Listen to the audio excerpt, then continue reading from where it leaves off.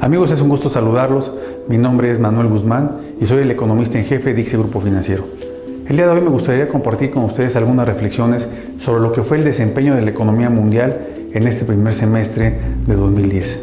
Quizá una de las principales características que podríamos destacar es que continuó el proceso de recuperación económica iniciado en el segundo semestre de 2009.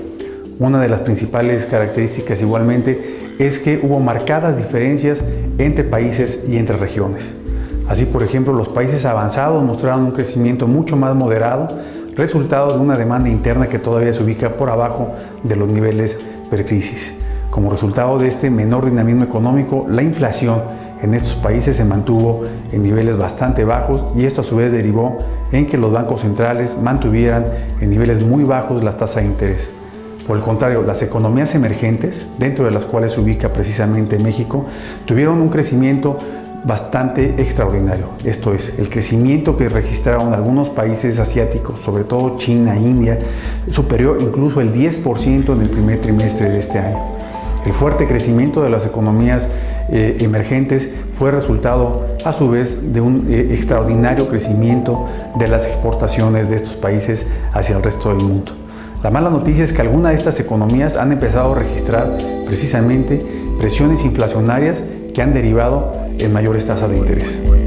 La diferencia que hubo entre las medidas de política monetaria adoptadas por las economías avanzadas y por los países emergentes dio lugar a un fenómeno muy interesante. Esto es, en la medida en que las tasas de interés en los países emergentes fueron significativamente superior a las tasas de interés prevalecientes en las economías avanzadas, esto motivó un flujo de capitales muy importante hacia las economías emergentes. Es decir, este famoso fenómeno de flight to quality que tradicionalmente había funcionado a favor de las economías avanzadas, hoy se presenta a favor de los países emergentes, siendo México, nuestro país, uno de los mayormente beneficiados con este gran flujo de recursos.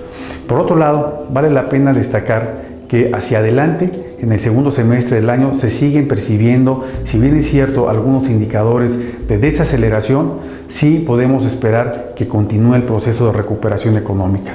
Basta señalar que hace un par de días el mismo Fondo Monetario Internacional ajustó a la alza su expectativa de crecimiento para el mundo de 4.2% a 4.6%.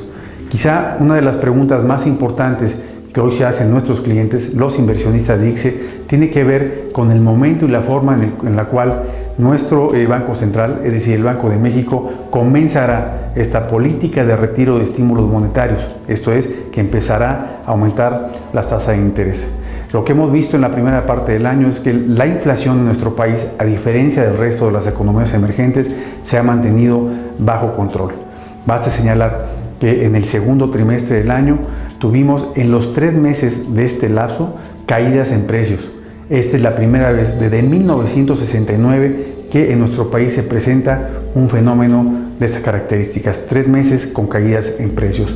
Lo importante de, esta, eh, de este hecho es que en la medida que la inflación se mantenga en niveles bajos, el Banco de México tiene un mayor margen de maniobra para mantener los estímulos monetarios, esto es, para mantener por un periodo más prolongado de tiempo las tasas de interés. Desde nuestro punto de vista será entonces hasta mediados del 2011 cuando veamos que en México empiezan a aumentar las tasas de interés. Hasta aquí mi comentario, gusto en saludarlo, buenas tardes.